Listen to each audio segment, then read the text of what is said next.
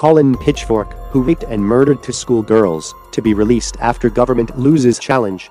Pitchfork, now in his early 60s was the first person to be convicted of murder on the basis of DNA evidence.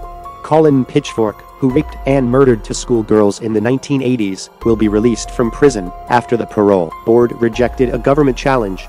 Pitchfork was given a life sentence in 1988 with a minimum 30-year term after strangling Linda Mann and Dawn Ashworth, both 15, in Leicestershire in 1983 and 1986 respectively. The government had challenged the parole board's decision that Pitchfork was suitable for release following a hearing in March. But in a statement, the board said the appeal has been refused. Reacting to the decision, Dawn Ashworth's mother Barbara Ashworth said it was disappointing, but added, he can't hurt me anymore. She said I've had 33 years of it, and it's all been said, and as far as I'm concerned he's going to be out in amongst the public so it speaks for itself. Advertisement. Pitchfork, who is now in his early 60s was sentenced to life after pleading guilty to to murders, to rapes, to indecent assaults, and conspiracy to pervert the course of justice. He was the first person in UK history to be convicted on the basis of DNA evidence. In 2009, the Court of Appeal ruled he had made exceptional progress while in prison and had his term reduced to 28 years, therefore becoming eligible to be considered for release in 2015. Despite being denied freedom in 2016 and 2018, he was moved to an undisclosed open prison. The March ruling that he could be released was strongly criticized by his victims' families and lead to Justice Secretary Robert Buckland's request to the parole board. But their statement read the parole board has immense sympathy for the families of Dawn Ashworth and Linda Mann and reconnaissances the pain and anguish they have endured and continue to endure through the parole process. However, parole board panels are bound by law to assess whether a prisoner is safe to release. It has no power to alter the original sentence set down by the courts. Legislation dictates that a panel's decision must be solely focused on what risk a prisoner may pose and release, and whether that risk can be managed in the community. As made clear in the reconsideration decision, release was supported by all of the Secretary of State's witnesses during Mr. Pitchfork's review. The Ministry of Justice, which works independently of the parole board, said it is disappointed with the outcome.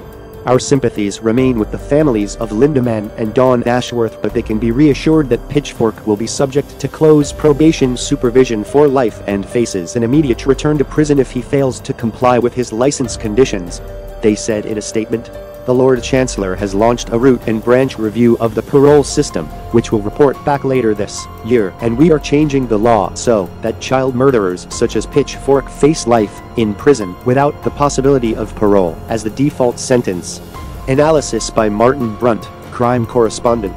The Justice Secretary's bid to keep Colin Pitchfork in jail was doomed to fail because it was a political move Robert Buckland hadn't objected to the double killer's release throughout the original hearing and stepped in later only because of a public outcry.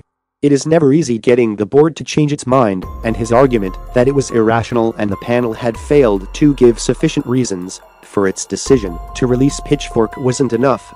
He probably knew that when he made it and, of course, Pitchfork had completed his minimum sentence of 28 years earlier reduced from 30 by 2016 and had been turned down for parole twice since then, when he was jailed for raping and murdering Linda Mann and Dawn Ashworth. He had already committed a series of sex attacks in earlier years.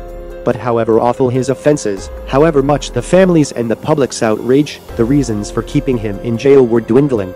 And he will have to live under tough restrictions breaking any of them will likely get him sent back to jail. A leading defense lawyer said that statistics show the parole board rarely gets its decisions wrong and prisoners seldom re-offend. Colin Pitchfork may be a notorious killer, but under the law as it stands he had done his time.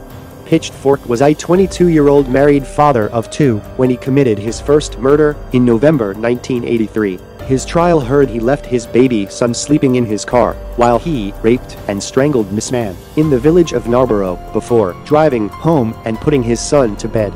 Three years later, just over a mile away from the scene of his first crime, he raped and murdered Miss Ashworth in what a pathologist described as a brutal sexual assault. He initially evaded justice with a 17-year-old man falsely confessing to one of the murders and one of his colleagues being coerced into taking a DNA test for him. But after 5,000 men in the area underwent DNA profiling the first time ever it had been done on such a large scale he was caught.